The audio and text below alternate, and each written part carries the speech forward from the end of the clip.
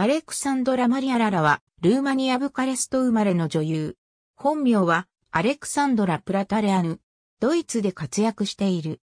父親は、ブカレスト国立劇場の副代表を務める有名な俳優。母親は、言語学者であったが、彼女が4歳の時、チャウシェスク政権を逃れて、西ドイツに移住。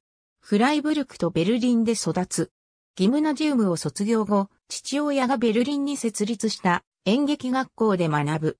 11歳から数多くのテレビドラマに出演し、1999年に映画デビュー。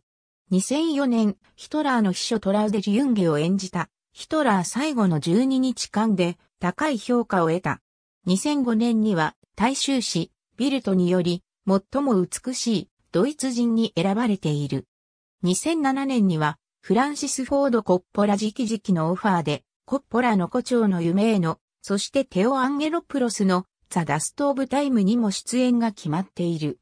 トム・クルーズ主演のヒトラー暗殺計画を描く映画、ワルキューレへの出演オファーもあったものの、興味がないとして断った。映画、コントロールで共演したイギリスの俳優サムライリーと交際、2009年に結婚した。2014年に長男を出産した。ありがとうございます。